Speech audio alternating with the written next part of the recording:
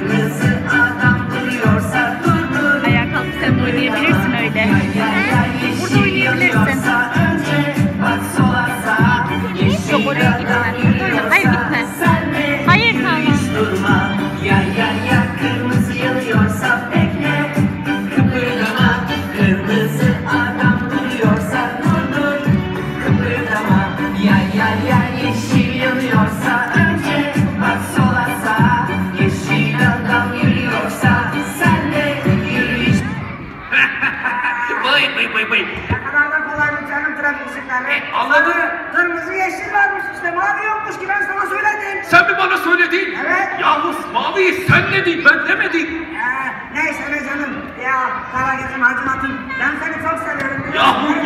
yavaş bir herifsin Sen benim en iyi arkadaşımsın biliyorsun değil mi? Biliyorum bilmem mi? Sen de beni dinlesen daha iyi anlaşacağız da dur bakalım. Bilmiyorum bilmiyorum. Şimdi söyle bakalım kırmızı ışıkta ne yapılır? Kırmızı ışıkta vurulur. Güzel. Araçlar geçer. Peki sarı ışıkta? Sarıda hazırda beklersin yeşilin yanmasını. Yeşil yanınca da karşıya geçersin. Bravo Karagöz'üm sana kocaman bir alkış. Bugün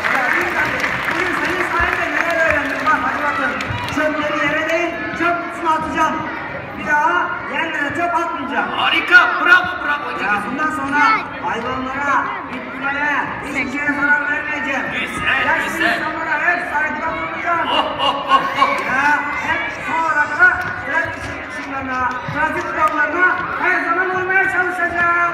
Çok güzel benim canım dostum, 40 yıllık dostum Karagöz, kap Karagöz. Gel şöyle bir sarayım seni.